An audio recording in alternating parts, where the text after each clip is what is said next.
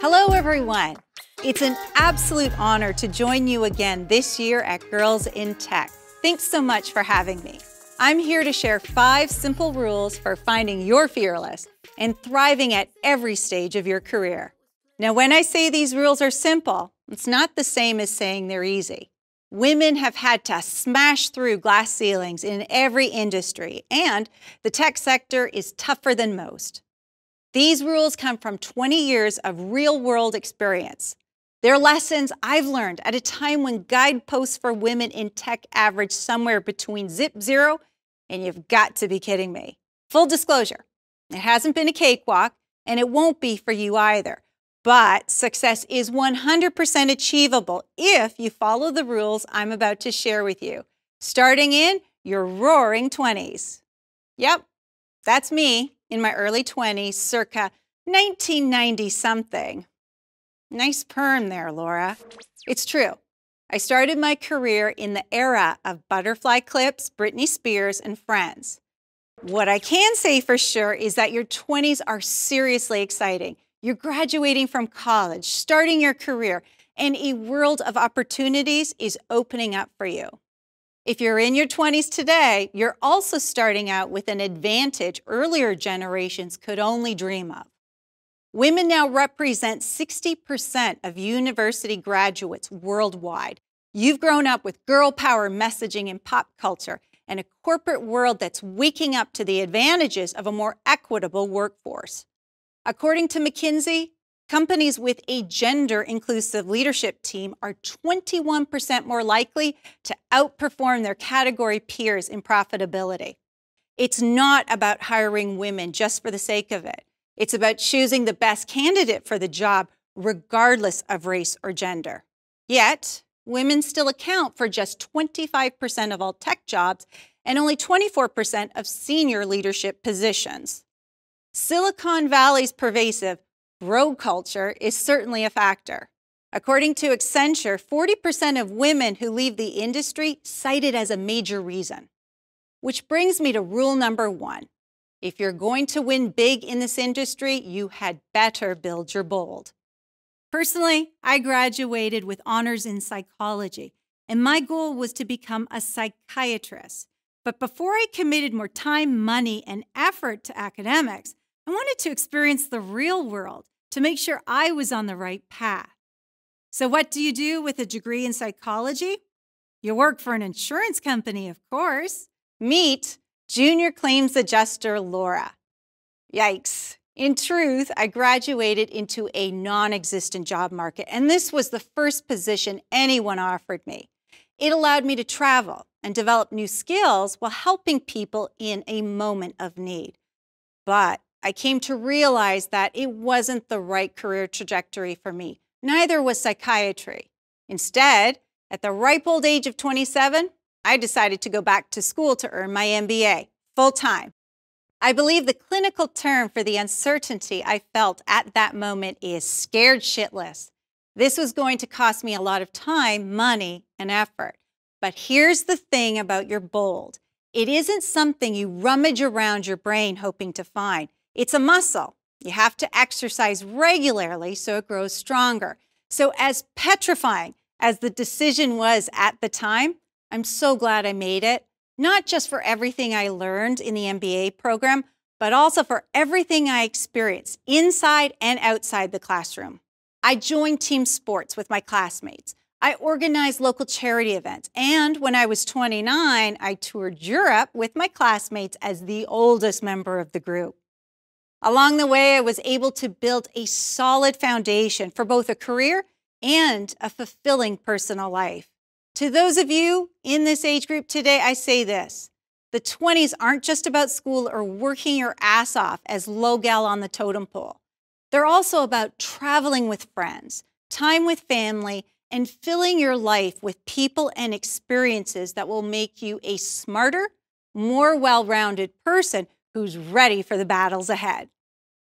Enter simple rule number two fight like a girl. Because once you've decided on a path, that's when the real battle begins, especially in a male dominated industry like technology. Studies cited by The Atlantic show that women in tech are interrupted in meetings more often than men. They're also evaluated on their personality in a way that men are not. Is she approachable, friendly, or bitchy? Even worse, women's contributions to open source software are accepted more often than men, but that's only if their gender is unknown. To be clear, most sexism isn't overt. Most of the time, it's unconscious gender bias on the part of good men being clueless rather than malicious. In my experience, the vast majority of men in tech are considerate and supportive. My longtime mentor, he's a man. The truth is, everybody has to slog through a massive amount of crud when they're first starting out. But I realized early on that women have to work twice as hard to attract the same level of recognition men do. Is that fair? Of course not. But in my book, it's also moot. Successful women are those who fight to do their best all the time, period. Instead of getting worked up over it, my mantra became prepare, prepare, prepare, and then prepare some more. Even for the smallest of meetings, I made sure I was dialed in and ready for action. Make no mistake, there is no such thing as an overnight success. It can take years. But I promise you this even in your weakest moments, when it doesn't seem like all that hard work will ever pay off, just know that it will. And your success will be all the more sweet for the struggle. How can I be so sure? Because when you prepare for every meeting ahead of time, when you eagerly accept and then crush every project thrown your way, you're also building your confidence. A little win here, another there, and pretty soon you're achieving a solid track record of accomplishment. Just as importantly, you're forging relationships. You're piecing together a network of people who know they can count on you and will be there when you need it too. In other words, you're not just making LinkedIn connections, you're building your tribe. Once you recognize that your fight is gaining traction, you start to realize that success is truly possible for anyone, even me. So work hard and fight to establish your bona fides. You're tougher than you think. And while you're out there fighting the good fight, foster substantive, mutually beneficial relationships on the job and off. Do that, and you'll have the perfect launching pad for thriving in your 30s. The backdrop for my 30s included Green Day, the iPod, and a little movie called Legally Blonde. If you've never seen it, it's a quirky rom com starring Reese Witherspoon as Elle, a superficial sorority girl who decides to go to law school. Once she's there, she and everyone else discover there's a whole lot more to Elle than just her pinkalicious fashion sense. It's a fun movie, but it also offers an important lesson that's captured in simple rule number three never let them judge your book by its cover. This particular rule is near and dear to me because this is a decade of huge opportunities and more than a few trapdoors. You're in your 30s, you're hitting your stride, and you're finally getting the compensation and advancement that go with it. For me, that meant joining Guidewire, an outstanding company that develops solutions for the insurance industry. As one of its early employees, I was able to play a vital role in helping the company go from tiny startup to post IPO success story. But in the early days, customers and prospects would see this young blonde walk into a meeting and assume I was somebody's assistant. And let me tell you something I wasn't about to let anybody judge me unfairly just because my book came with an ever so stylish feminine cover. To take my career to the next level, I knew I would need to gain the kind of expertise that commands respect. So I continued to pursue and accept every project I could, further expanding my network. I also sought out every single piece of feedback I could gather the good, the bad, and the WTF. I'd literally print out the feedback and find ways to incorporate improvements until they became habits. And it worked. My career progression started accelerating in leaps and bounds. But your 30s does come with some minefields. Generally speaking, companies start assigning larger roles to up and comers between the ages of 30 and 35. This is the point when men go into 24 by 7 work mode Ditto for many women. But after notching up successes, some of us begin to realize that career alone may not be enough to fulfill us anymore. After putting it off for so long, some realize they're finally ready for a little bundle of joy to call their own. This is Claire, the greatest decision I ever made. The good news if you've been laying the right foundation, having a baby doesn't mean your career has to grind to a halt. Remember how I said I eagerly sought and accepted every project I could? When we do that, we begin to become part of the DNA of our organizations. We become indispensable.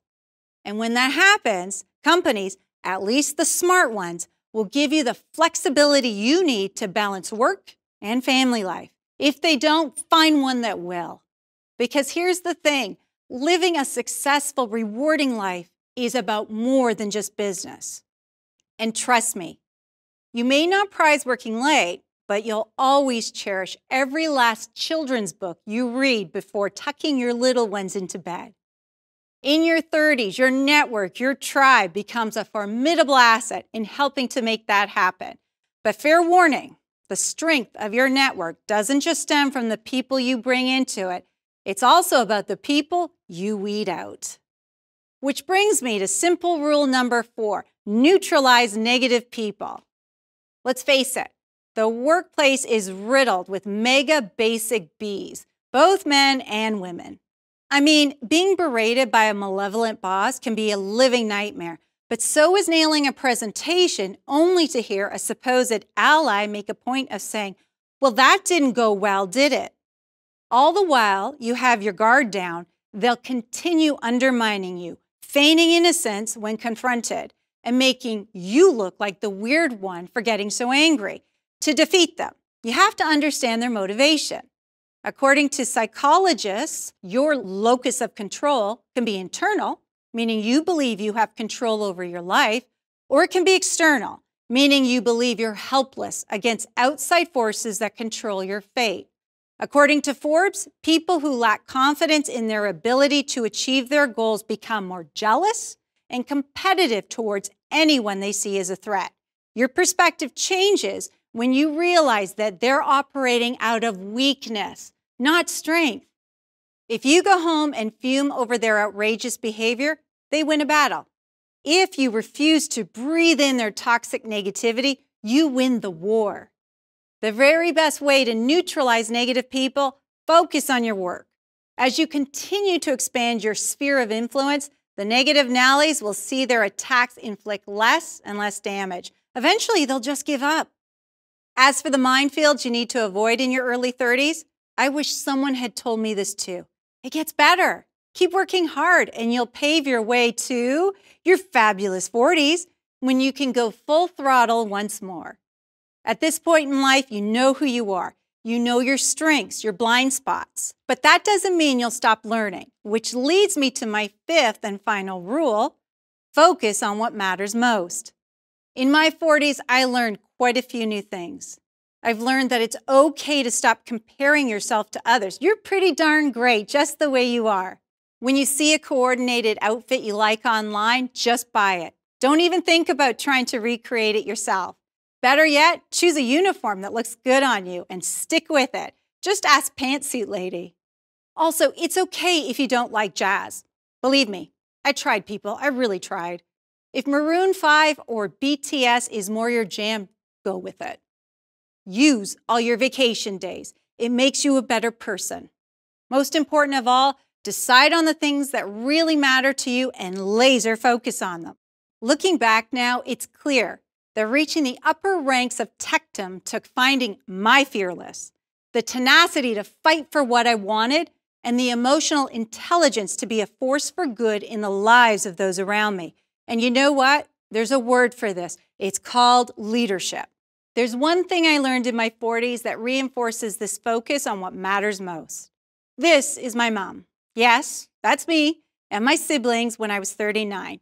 Mom was diagnosed with stage four pancreatic cancer. She died within six weeks, on my 40th birthday, in fact. Some of the best memories of my life are from those six weeks with my family at mom's bedside. We made every freaking moment count. We let go of old animosities and the petty things that never really mattered anyway. And we made wonderful memories that will stay with us for the rest of our lives. Ladies, whatever path you choose, whatever dream you fight for, remember that we are here together on this earth for a vanishingly short amount of time. Don't let your life be full of woulda, coulda, shouldas. Be bold, fight for your dream, live a life that's full and rewarding. Most important of all, be generous in helping others in their own journey. Let your words and actions foster good on the job, in your personal life, and in this world. Your success becomes you, who you are, what you stand for. Make it matter for yourself and for everyone you love. Thank you. That's a wrap.